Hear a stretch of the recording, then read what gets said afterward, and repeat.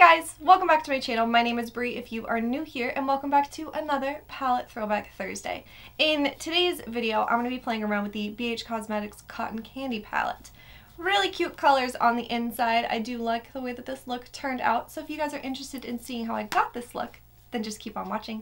Alright, as per usual, already primed my lids and set my brow bone with like a skin colored powder.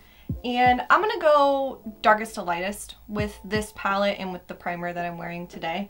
So I'm to start off by going in with light and airy and building that up on my outer corner. I have used, I've had this palette for a while, since shortly after it came out. I, I think I've used it all of one time.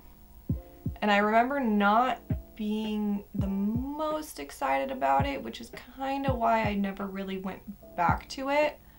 So I'm trying it with a different primer today. I'm using the Anastasia Beverly Hills Eye Primer, which is a little bit tackier and a little bit brighter, so hopefully colors pop on it really well. And I'm going to start going, I'm going to go lightest to darkest to hopefully kind of help that blend and not make things kind of disappear. And so far this color's pretty. Next up, I'm going to go into the shade Carnival on a big fluffy brush and blend that into my crease.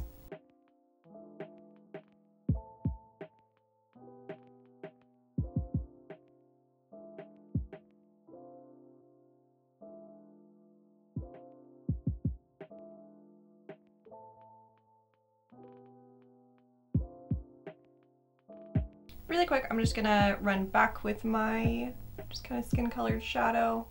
Individually, the colors work well, but once you start to blend them together, they kind of start to disappear into each other.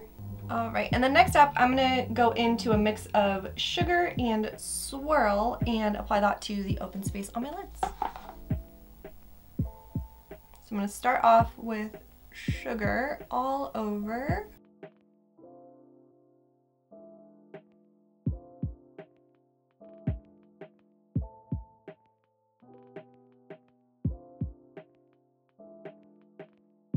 And then I'm to dip into Swirl and use that to blend those two together.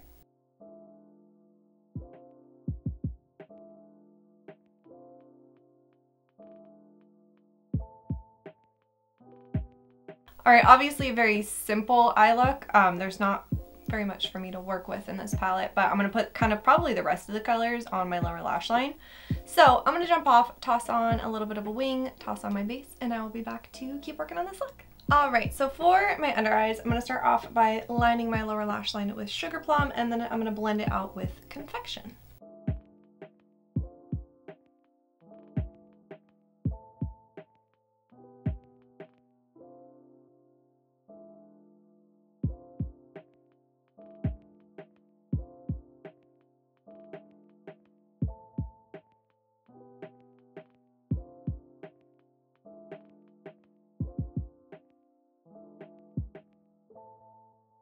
And then for blush, I'm going to go in with the e.l.f. Primer Infused Blush in Always Rosy.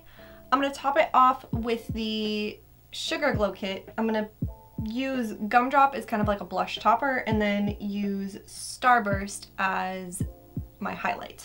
Really quick, actually, I'm going to go into the shade right here, Fluff, and use that as my inner corner highlight.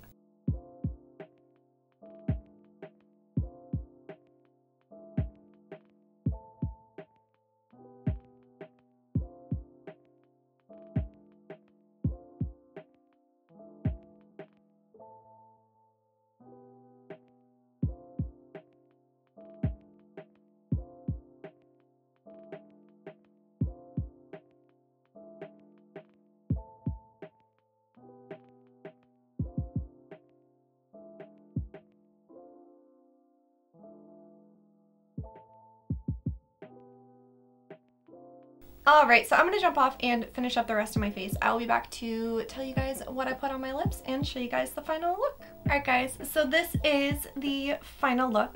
For my lips, I went in with the Wet n Wild Bear Comet lip liner and then I went in with the NYX Shout Loud Satin Lipstick in Chic and I just kind of like tapped it on my lips. I didn't like want to do like a really thick layer. because it's a very pink lipstick and I didn't want to be like too over the top.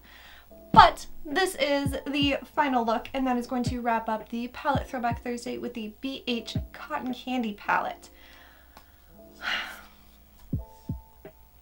I'm at kind of like an impasse with it and I think what's holding me back from getting rid of it is actually that really bright pink shade, the uh, the Carnival shade. I think it's a really, really pretty shade. But just overall, like, that dark pink that I put on my lids, where to go? The really light um, confection shade didn't exist whatsoever. Um, the shimmers are like okay. They're kind of thin and almost like a little bit sheer. They're they're pretty and the colors are really pretty, but like they have like like this. Like that's what that one that I put on my lid looks like.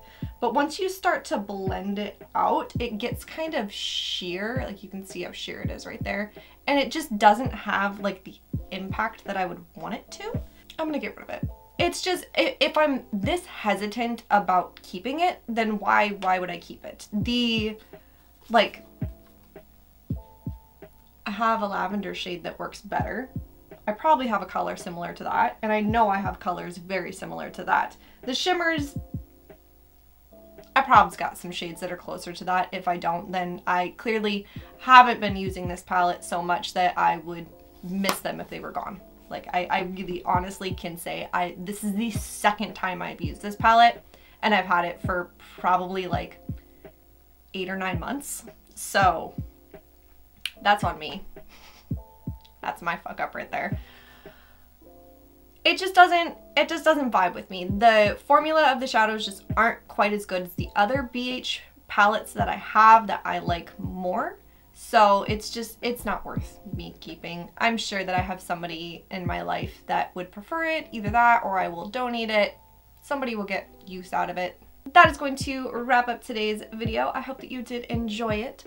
Comment down below and let me know what your favorite BH Cosmetics palette is if you have one. I would love to know. Please subscribe if you have not already. It would mean the world to me. Like this video, ring the bell, do all the things. I hope that you guys have an awesome, awesome day, and I'll see you guys in my next one. Bye!